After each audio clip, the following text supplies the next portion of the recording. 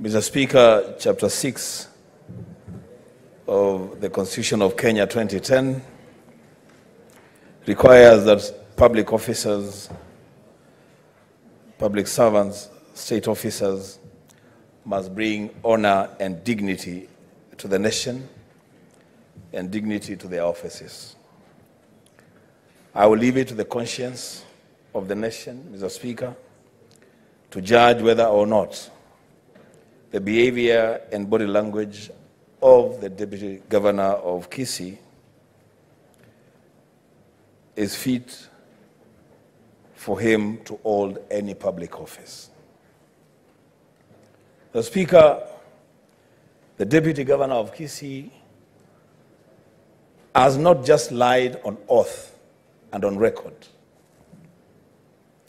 He is at the center of a conspiracy to lie to the Senate for purposes of just exonerating himself from blame. Him and his co conspirator must have a very dim view of the collective basic intelligence of the Senate.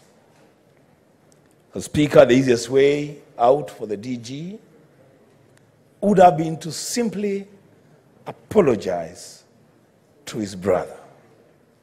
Simply fix the mess that he has put one Dennis and one Lucy in.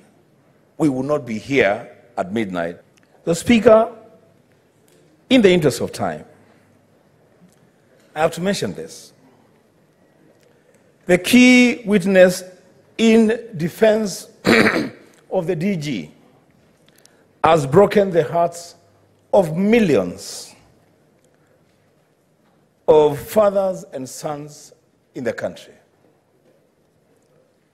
I want to take this opportunity as Speaker to assure my son Emmanuel that if I am ever to put him in any mess, I will stand with him.